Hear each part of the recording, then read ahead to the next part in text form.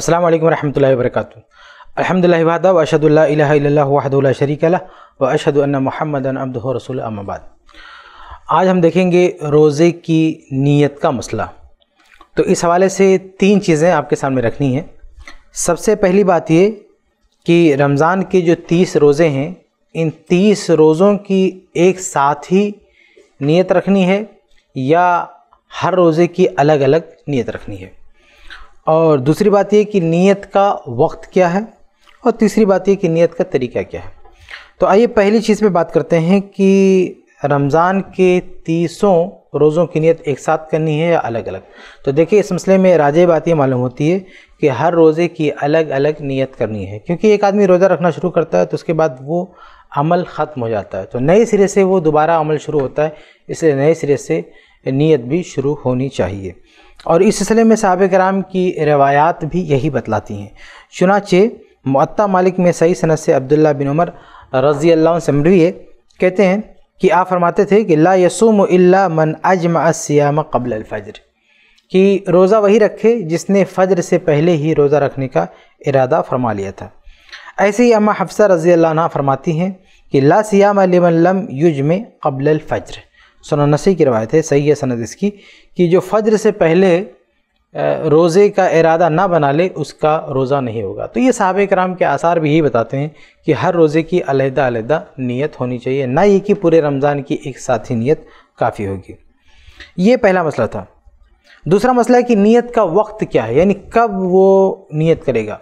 तो देखिए, जैसे ही पहला रोज़ा ख़त्म होता है और उसके बाद ये है कि अब अगला रोज़ा आएगा तो इस मरहले में जब चाहे वो नियत कर सकता है।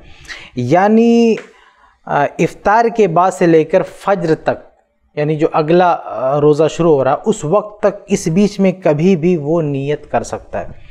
क्योंकि एक रोज़ा अगर ख़त्म हुआ तो अब ख़त्म होने के बाद नियत के साथ वो इबादत ख़त्म हो चुकी है। अब अगले रोज़े का वक्त है तो अगले रोज़े के लिए वो कभी भी नियत कर सकता है। आ, शाम को कर ले या फ़जर से पहले कर ले इन उसके लिए काफ़ी होगा। बल्कि इब्न हजर रहमल्ला ने तो शहरी के फ़वाद में से एक फ़ायदा ये भी बताया है कि वह तदारक नीयत सोम लिमन अगफ़लहा कबल नाम कि शहरी का फ़ायदा ये होता है कि जो सोने से पहले नीयत नहीं कर पाता है वो शहरी में उठता है तो रोज़े की नीयत कर लेता है, नहीं, इरादा वो बना लेता है।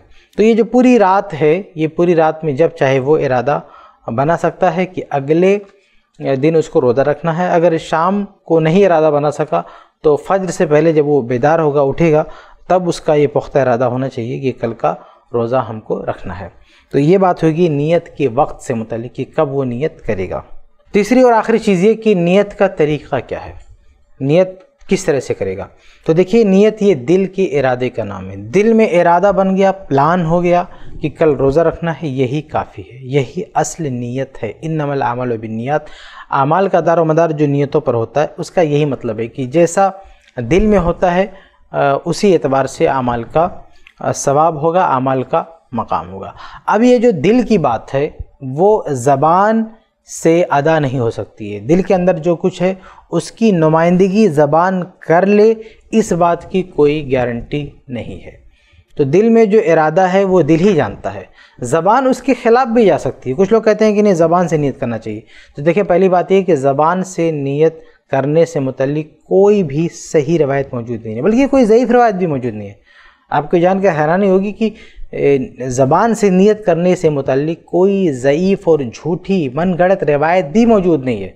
बस कुछ लोगों ने ऐसे ही एक तरीका बना लिया और लोगों पर उसकी अमल की दावत दे रहे हैं कि नहीं, आप ज़बान से नियत कर लो। हालाँकि इसका कोई सबूत कुतब अहादीस में नहीं मिलता है, न सही अहादीस में, न ज़यीफ़ अहादीस में, न मौजू अहादीस में।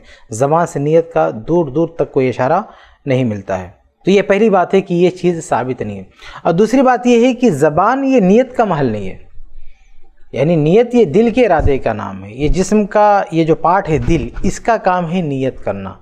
ज़बान का काम ही नहीं नीयत करना। जैसे मुँह का काम होता खाना। अब कोई सोचे कि मुँह से हम सूंघेंगे तो ये मुमकिन नहीं है। नाक का काम है सूंघना। अब कोई सोचे कि हम नाक से सुन लेते हैं तो सुन नहीं सकता। सुनने के लिए कान है। अब जैसे देखना ये आँख का काम है। आँख से दिखाई दे। अब कोई नहीं, मैं कान से देखूँगा, मैं नाक से देखूँगा। तो ये मुमकिन नहीं है।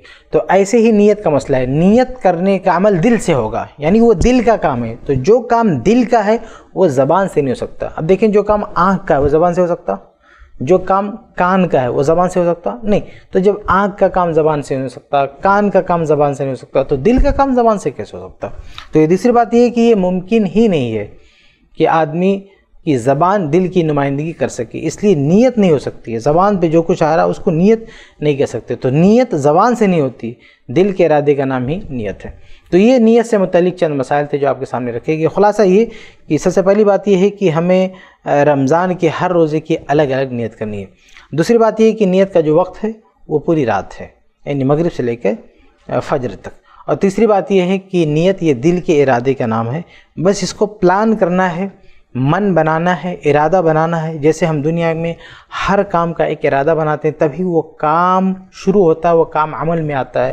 पहले इरादा बनता है, फिर वो काम अमल में आता है। तो ऐसे रोज़ी का भी पहले इरादा बनेगा, फिर वो काम अमल में आएगा, इसी का नाम नीयत है। तो ये चंद मसाइल से नीयत से मतलब अल्लाह ताला हम सबको किताब सुन्नत की रोशनी में हर इबादत अंजाम देने की तोफ़ी अता फ़रमाए। आमीन रब्बल